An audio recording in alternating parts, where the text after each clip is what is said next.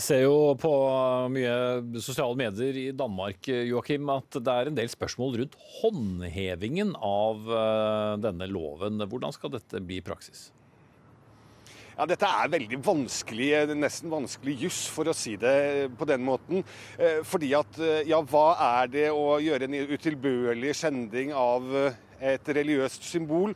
Man har forklart det fra Justisdepartementet i Danmark, og vi får lene oss på de da i denne anledning her, med at det betyr f.eks. å brenne en hellig bok. Eh, Det betyr at eh, man, hvis man gjør det da, i offentligheten, slik at offentligheten kan se det, enten på video, eller at man f.eks. gjør det ved en demonstrasjon ute i det offentlige rom, så er det ulovlig. Men det er f.eks. ikke ulovlig å sette fyr på Koranen i sin egen hage, hvis man ikke da har et eh, spesielt arrangement der. Det er fortsatt lov. Slik har de i hvert fall eh, forklart det sånn i, i dag. Sånn omtrent i hvert fall. Ja, kan bli mange interessante hageselskaper, tydeligvis.